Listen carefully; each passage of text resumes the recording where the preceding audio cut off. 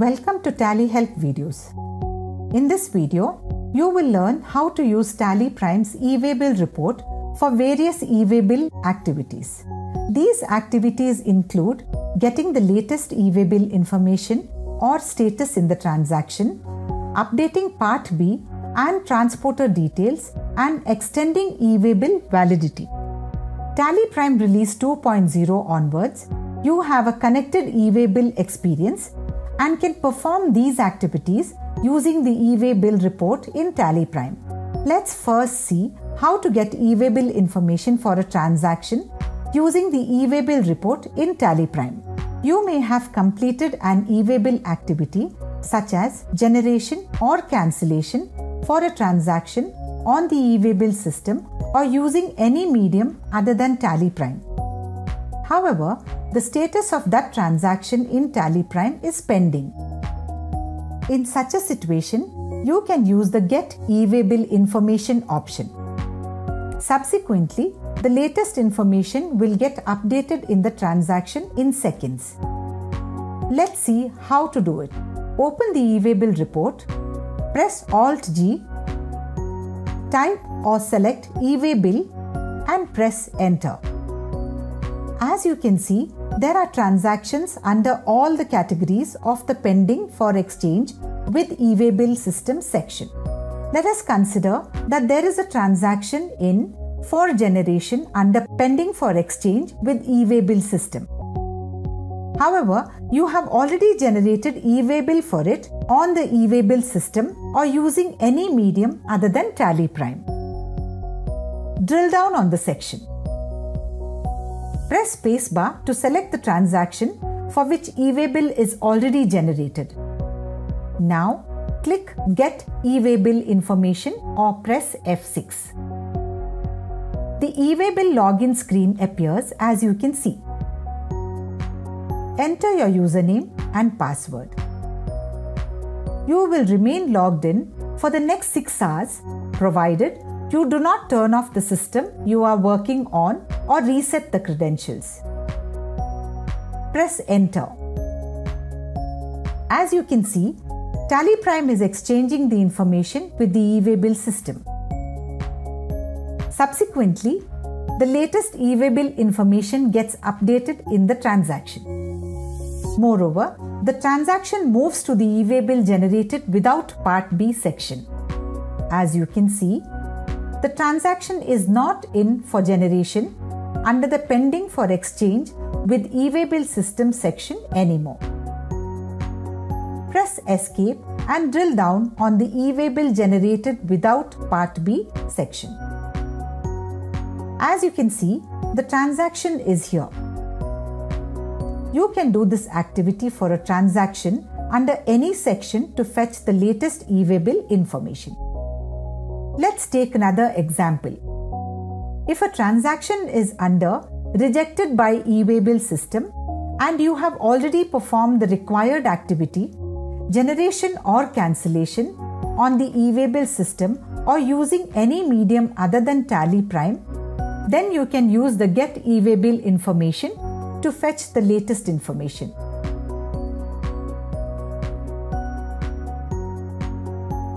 Now, Let's see how to update e-way bill part B for a transaction.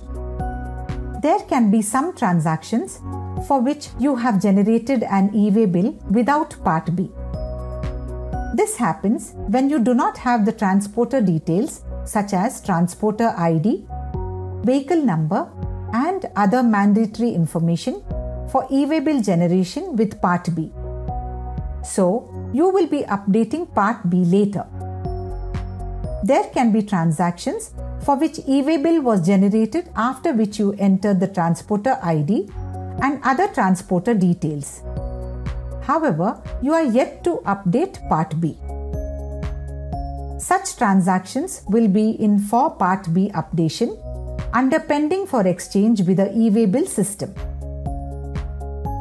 Drill down on the section and use the Update Part B button select the transaction for which you want to update Part B. Now, click Update Part B or press F7. the Part B updation detail screen appears. Select the mode of transport from the given options. Let's say road. Now enter the vehicle number and also select the vehicle type. Now press Ctrl A to save. You can then send the transaction for e-way bill Part B updation through Exchange on the top menu. Click Exchange and then Send for e-way bill. As you can see, the transaction is available under for Part B updation. You can select the transaction and send for Part B updation. Tally Prime exchanges information with the e-way system. Thereafter, the Part B information gets updated in the transaction. The transaction will move to the e-way generated with Part B section. If you had cancelled the updation of Part B on the e-way system because of the change in the transporter or some other issues, then you can undo Part B updation in Tally Prime so that the voucher will move to its previous section. Drill down on e-way bill generated with Part B. Just select the transaction and press F7. Press Y when the confirmation screen appears. As you can see, the transaction has disappeared from this section. Press Escape, drill down on for Part B updation under Pending for Exchange with e-way bill system and you can see that the transaction has started appearing here. You must know that undoing Part B updation in Tally Prime will only remove the Part B details from the transaction. It will not have any impact on the status of e-way bill on the e-way bill system. So, you will still need to undo the Part B updation on the e-way bill system. Thereafter, the Undo Part B Updation button will help you update your e-way bill report as the transaction will move to the appropriate section.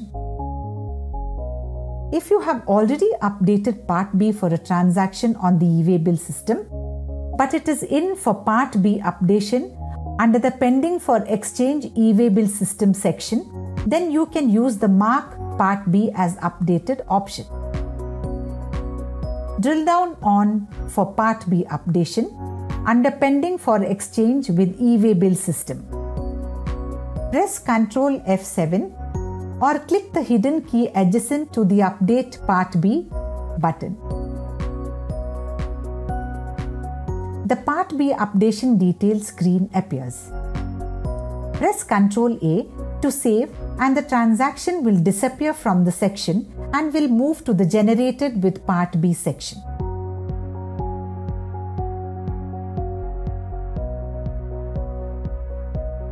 Let's now take a look at the process of updating the transporter ID. You may have generated e-way bill with Part B and now you want to update the transporter ID as another transporter is replacing the existing transporter. This situation arises when a different vehicle is going to carry the consignment or a different logistics company is going to handle transportation. In such cases, you will have to update the transporter ID. Let's see how to update the transporter ID. Drill down on the e-way bill generated with Part B section and then click Update Transporter ID. Select the transporter name and then enter the transporter ID. Press Ctrl A to save. Thereafter, you can send for Part B updation through the Send for e-way bill option under Exchange on the top menu. If the transporter changes again, then you can use the Undo Transporter ID Updation button in Tally Prime and update the transporter ID again. Just select the transaction and press Alt F8. Thereafter, the transporter ID will be removed from the transaction. You can also use the Mark Transporter ID as updated if you have already updated but the status is pending in the report. Press Ctrl F8 and then save the Update Transporter ID detail screen. You can also extend the validity of e-way bill using Tally Prime. Let's see how to do that. There can be an unexpected delay in the delivery of goods either due to vehicle breakdown or some other obstacle. In such a case, you can extend the validity of e-way bill. However, you can extend e-way bill only if it is active and about to expire in 8 hours. Let's see how to do it. Drill down on the e-way bill generated with Part B or without Part B section as applicable. For now, let's drill down on the e-way bill generated without Part B section. Select the transaction for which the validity of e-way bill needs to be extended. Press F9 or click Extend e-way bill. In the e-way bill extension detail screen, enter the remaining distance in kilometers. This entry will affect the validity of e-way bill. Let's enter 10 kilometers. Press Ctrl A to save. Thereafter, you can send the transaction for e-way bill extension using Send for e-way bill under Exchange on the top menu.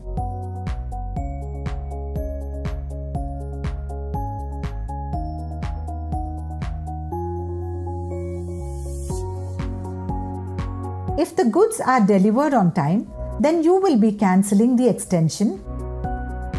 So, you can use the undo extension button in Tally Prime. Let's see how you can undo the extension in Tally Prime. For example, let's drill down on for e-way bill extension under pending for exchange with e-way bill system. The transaction is here.